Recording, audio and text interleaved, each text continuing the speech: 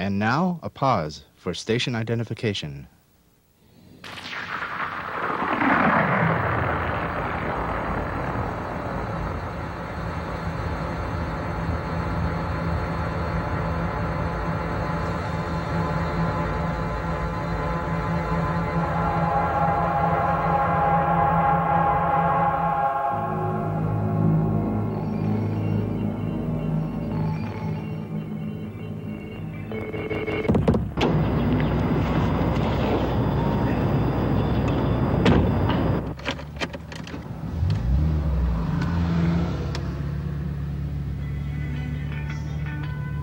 That's the sound of CKCU FM.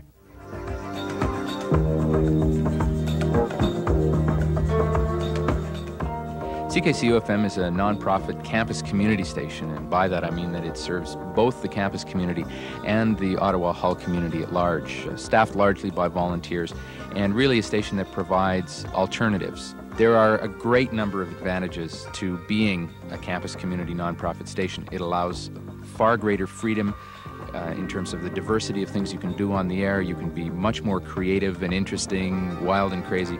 Uh, than you can be in uh, other types of radio, which tend to be much more restricted.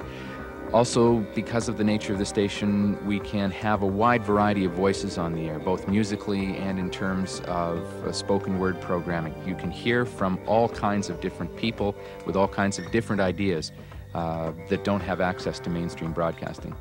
The station has been around a lot longer than most people imagine, actually. It started out uh, back in 63, 64 as a, a, small club on campus, grew into a closed circuit operation in the early 1970s into carrier current, and then on FM in 1975. It's grown phenomenally in the course of the last 10 years that we've been on FM, certainly, in terms both of the quality and diversity of programming, the number of people that we're reaching, and I think generally the quality of what's uh, on the air here at CKCU. The station relies virtually 100% on volunteers. Um, all of the on air staff that you hear are people who are volunteering their time. And a number of these volunteers have been with us for a long period of time, and they've really formed the backbone of the station over the course of the years.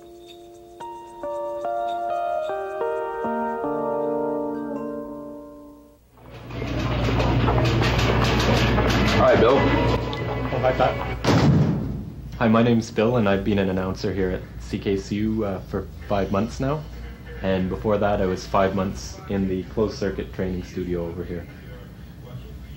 By the time we get an on air show, you're more relaxed and ready to do it. And when your first on air show is an all night show, so even that is a bit uh, re- more relaxed. However, um, just recently I started a more of a primetime show on Saturday nights, so I tend to want to come in and get prepared so that I'm relaxed in the studio. Oh, there could be a, a, lot of work involved in preparing for a music show. You'd have to consider uh, what the time slot you're doing is, and maybe what um, type of people are listening and what they'd be doing while they're listening to the radio. And then there's uh, thematic programming, which is part of our station uh, policy we have to prepare thematic musical programming called Foreground. You could maybe look at what other announcers have played that day so you don't get too much repetition. While we play 20% Canadian music, in the on air studio we have all the new releases, so we try and play uh, as many of them as possible. Then there's other scheduled things that we have to play, like promos for bands or upcoming events in town, and that's all on the log sheet. Some people prepare mm, up to four hours for a two hour show, or some people just come in maybe an hour before an overnighter, which is a five hour show, and uh, throw everything together. I try and play all requests depending on how much time I have. Sometimes you can work requests into uh, the kind of music you're playing, or sometimes you can get a request and it'll just throw you on a whole different tangent for the rest of the show. Hi, my name is Bill, coming on a little bit late tonight after uh, Gregging, but better late than never. Um, I'm going to be on until 8 o'clock when John Stamos comes in for New Revolutions. Until then, I've got lots of music for you to listen to, so do stay tuned.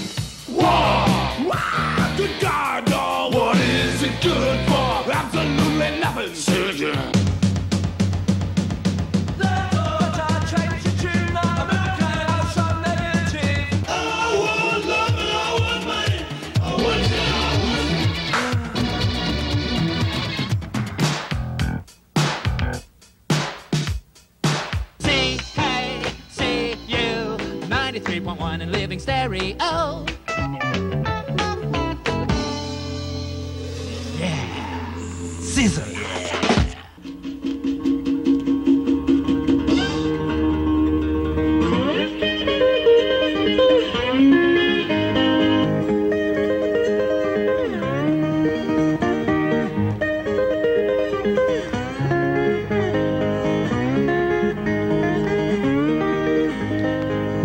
Sequence again, and Dave Essig telling me it's time to get on out of here, make room for Doug Torrance coming up in just a couple of moments with Walkabout, CKCU's country music program.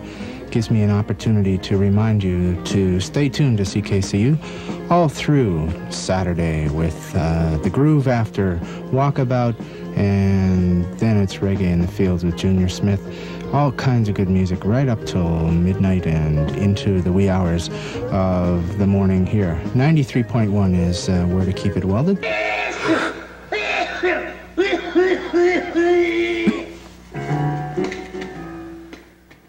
The main uh, difference between uh, blues shows here on CKCU is you can uh, get into the art and the history of it like John Tackerberry does, or you can just, you know, enjoy it as dance music as me and Bill do.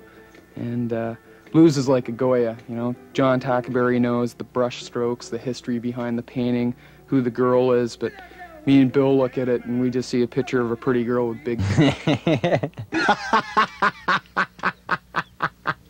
Well, I think CKCU's jazz program is different than other radio stations. The artists that get played are the artists that you can play when you go into more depth, so that not only do you play a Louis Armstrong, but you play a Kid Ory, not only do you play a Charlie Parker, but you play a Bud Powell or a Tommy Potter.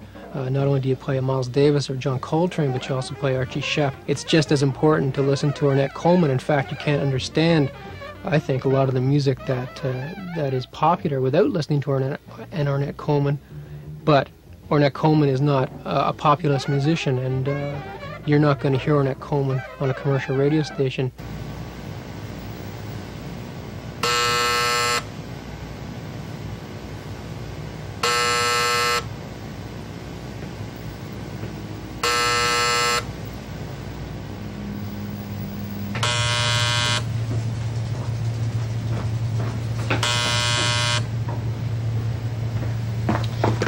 CKCU FM. Yes, that's right. This is Andy Clark. Yes, I produce Special Blend, that's right. So you can't come on Wednesday, but you can come the same time on Thursday. Okay, that's fine. Okay, thanks very much for calling. Right. Bye bye. Special Blend is three hours long. It runs from 7 to 10 every weekday morning. It requires a lot of work uh, to produce that much information programming on a consistent basis. Everyone in the Public Affairs Department contributes to it. It's produced by the Assistant Public Affairs Director. One of the advantages of being the Public Affairs Director is that you don't have to get up so early every morning. Bill Brown is the Public Affairs Director, and he gets to come in after the show is finished and the smoke is settled.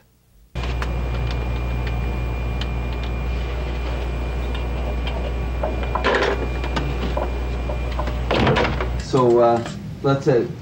Okay. Thank you very much. Bye. Here, and I just finished this tape for the third hour. Okay. All right, I'm gonna do an intro and extra right now, so you won't have to worry. Okay. Does this tape uh, need any edits? No, Do you know who's doing news reading today? no, don't you? No, I guess I'll have to do it myself. Okay. Okay, stay pruned. That was some Ry Cooder there. We've got Special Blend coming up right after this.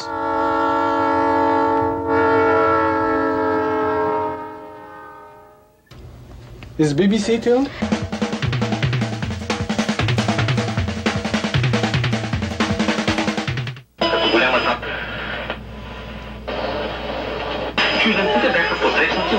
Plus, we'll have our regular features of news, weather, sports, and the ride sport. Stay tuned now. The BBC World Service News, brought to you by the new Morning Futons.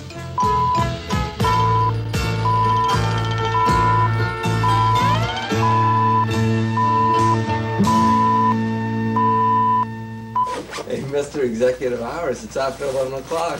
It's a strain to come in, eh? Yeah. I paid my dues. You look pretty com- Maybe we could string a hammock up for you up there. That'd be a lot more comfortable, I think. I think a lot of people, when they think about the public affairs at CKCU, they think it's it's mostly special blend, because a lot of the volunteers do work on special blend. There's a lot more. I mean, there's there's shows dealing with uh, the arts, with literature, with women's issues, with Canadian politics, international politics. There's a children's show. There's all sorts of, of different types of programs. And uh, I guess public affairs is distinguished from news in that uh, we're not as worried about the, the short little story at the top of the hour to keep people updated. We want to sort of talk uh, about the background uh, to what has happened so things don't get stale on us. It's an advantage we have. And we don't worry about being scooped by other places because uh, the attitude we take is we, we, we try to take an issue instead of reporting that something happened. We'll try to talk about why it happened. So then on top of all that, we have uh, we have ethnic programming that we run during the weekend, uh, shows that are aimed at the Vietnamese community or the Chinese community or, or the Jewish community or the Polish community, things like that. Good morning, everyone. My name is Mordechai Berger, and for the next 30 minutes, I'm going to be your host on the Sunday Simcha, the Jewish program of Ottawa on station CKCU FM. Tưởng cũng nên nhắc lại rằng trong những năm 79, 80, bà Duo đã phát động chương trình 4000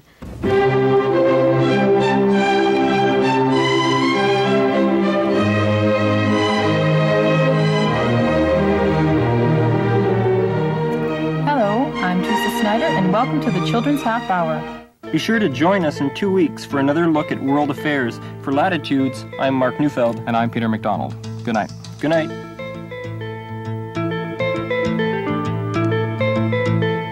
Latitudes is a live color CKCU production.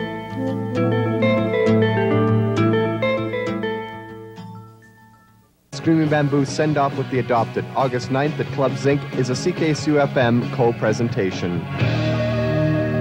And stay tuned to CKCU FM. This afternoon, we'll be giving away a pair of tickets to win to see the show Screaming Bamboo and The Adopted at Club Zinc August 9th. Also, an interview with Brian from Screaming Bamboo will be coming up, so stay tuned. Radio Carleton, 93.1 of a kind.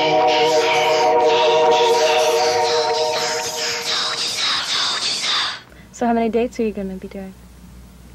Gee, I never counted them all. Oh. Uh, all the major cities out west, Mhm. uh, plus Lethbridge.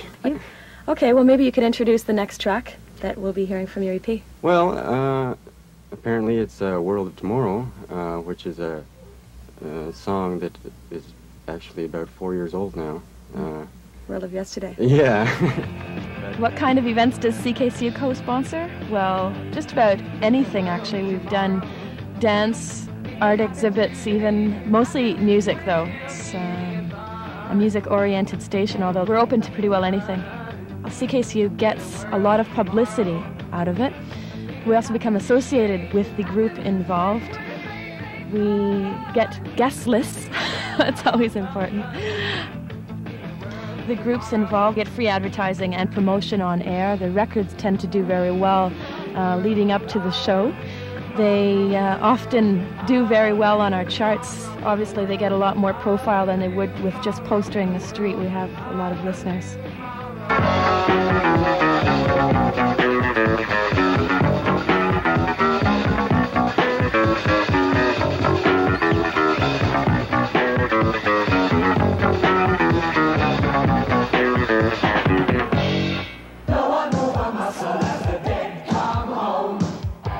Taste of the unexpected, make a date with Shriekback Monday, October 7th at Barrymore's and break through the barriers of pop lethargy. Shriekback in Concert is a presentation of Shake Records and CKCU FM. Whatever you do, keep dancing, keep tuned in to CKCU 93.1 FM. And if you drink, don't drive.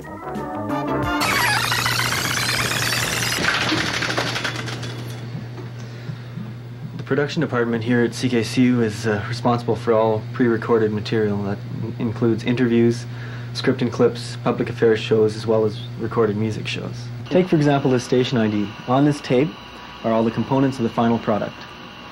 This is one of the passages. You're listening to That's one of the vocal tracks. So what did you do to the voice? That's the J button. It does a lot of strange things. Actually, in the final uh, product here, there's a, a lot of special effects added.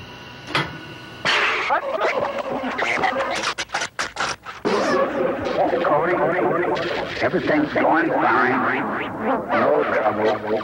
Just get this. You're listening to CKCU's 10th year of being a very different radio station.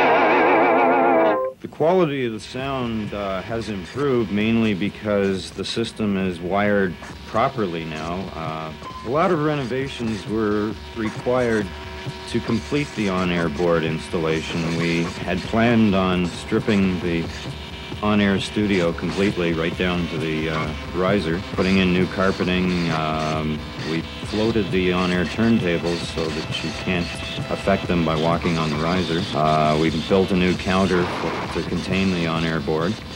The thing that we weren't planning on was totally rebuilding the engineering racks. All the racks were stripped out and all the wiring rerouted. Well, here we are at Camp Fortune uh, transmitter site for CKCU. Uh, we received the signal on microwave receiver. From there it goes to the exciter. From the exciter it's fed to the main amplifiers and out through this, which is called a harmonic filter, through the coax to the antenna.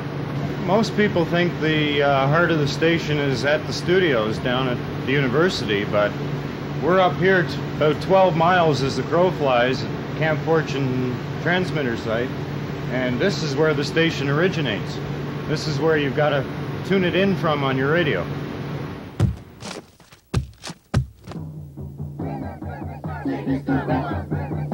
Trans FM. Who's Who on Radio Carleton at 93.1 FM on your dial bring you up to date on the inner workings of Ottawa's own community radio. Trans FM. An essential guide to our airwaves, available now at record stores, boutiques, and selected cinemas. Trans FM. CKCU is uh, financed uh, a number of different ways, actually, much different than, than your conventional um, FM radio station or conventional radio station. We get grants uh, primarily from the Carleton University Students Association, which account for roughly a third of the budget. Uh, we also use limited sponsorship advertising to get about another third of the budget. Uh, that comes from businesses and is, in a sense, like commercials, only different. They're are fairly strict limitations in terms of what we can say and how many we can have and so on and so forth. And our third source of funding, major source of funding, is the annual public funding drive, which also itself makes up about another third of the operating budget.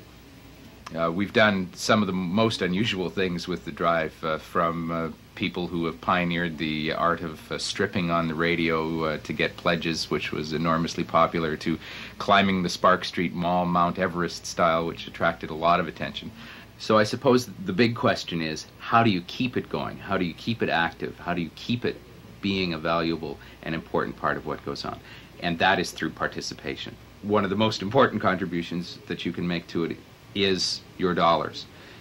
So your continuing support, coupled with the energy, the interest, and the enthusiasm that we see around here every day, uh, gives us reason to be very optimistic about the future. Being at CKCU has been an incredible privilege, a chance to meet new people, hear a galaxy of new music, and taste everything that's ever grown on the underside of rocks. Well, CKCU's most valuable asset is uh, the idea behind the station that uh, we are trying to present different ideas and different music, and I think that's the belief that everybody has that, that there is something different to present to the public. Hello, everybody. This is Levon Helm. I hope you're tuned to CKCU FM 93. And if you're not, I hope you're happy anyway. Playlists suck. Who wants to uh, sound like commercial radio? We're different for a reason. The overnighter is a real grind. I did it for 11 months, and uh, it's made an old man out of me.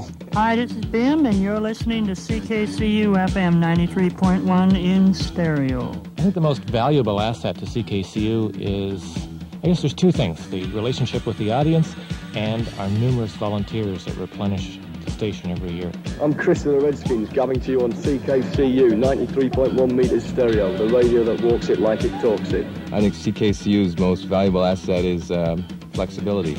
I feel that if our show was forced to have a playlist, it would regiment our creativity, which would be negative. This is Joe Strummer from The Clash, and this is CKCU 93.1 FM, the best station in the nation. Everybody thinks the best music comes from somewhere else, but the best music doesn't come from somewhere else. Those people somewhere else are suffering the same goddamn thing that local artists are suffering here.